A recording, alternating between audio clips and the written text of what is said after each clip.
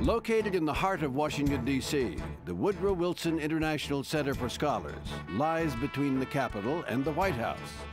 Established under the Smithsonian Institution, it's a perfect setting for the world's preeminent research and public policy institution. Woodrow Wilson was an accomplished scholar, renowned university president, and the only U.S. president to hold a Ph.D., and one of four to receive the Nobel Peace Prize. The architect of America's modern international perspective, he established the U.S. as a leader in world affairs. Rather than a monument like those that honor Presidents Washington, Jefferson, and Lincoln, the Woodrow Wilson Center was established in 1968 as a living memorial to the 28th President of the United States and reflects his dedication to the worlds of policy and scholarship.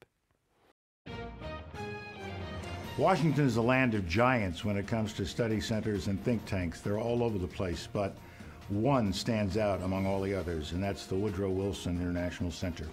The center provides an essential link to the world of ideas, a safe political space for discussing the hard issues central to the challenges we face. I have always believed that the best solutions to tough problems require a bipartisan approach, and bipartisanship is the center's brand.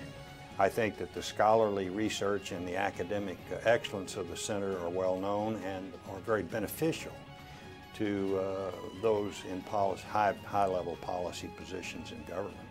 I'm very proud to be associated with the Woodrow Wilson Center because I believe we have a very strong impact, a very positive impact on public policy.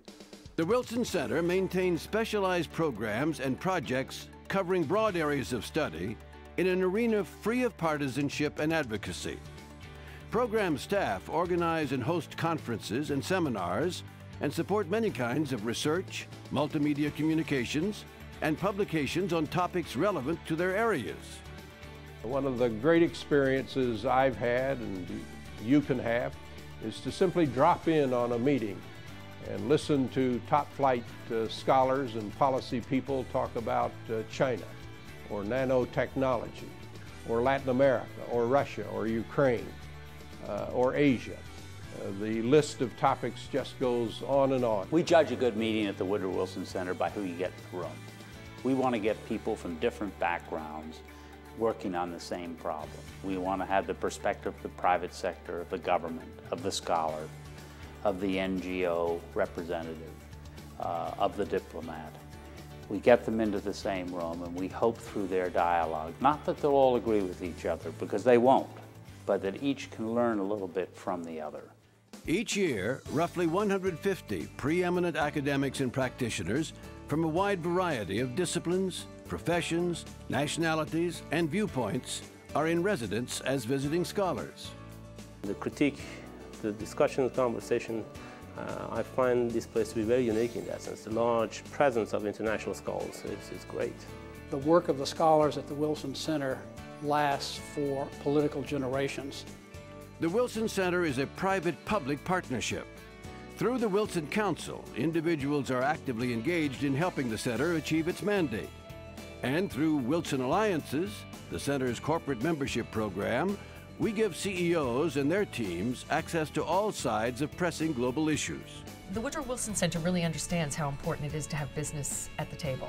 Business plays an important role in the global world, and the interdependence now between business um, and government uh, is quite evident in terms of really needing all the resources at hand to solve the problems. The Wilson Center attracts world-class speakers from the executive, legislative, and judicial branches of the U.S. government. The center is also a desired venue for heads of state and cabinet ministers from all parts of the world, as well as leaders from journalism, the private sector, and non-governmental organizations. This is a historic and wonderful place for us to assemble. It's a place where scholars and policymakers can engage in fruitful discourse. I'm honored to be here at the Woodrow Wilson Center. Uh, I want to first of all thank Ambassador uh, Gildenhorn for uh, the outstanding work he does as board chairman here at the Woodrow Wilson Center. The Woodrow Wilson Center maintains an active schedule of programming outside of Washington, D.C. particularly in conjunction with many of our Woodrow Wilson Award dinners.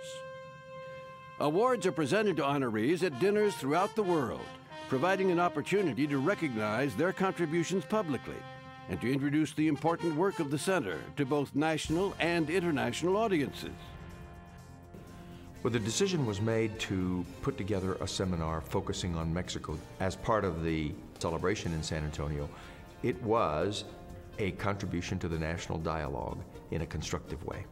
Getting involved, I think, is a very key issue. And being the recipient of the Woodrow Wilson Award focuses back on the Wilson Center and its mission. Uh, a commitment to create an environment of service for the common good. When they gave me the honor, they hosted a day and they brought all sorts of scientists together to exchange ideas. So it wasn't just being honored at a dinner, it was actually doing something that day.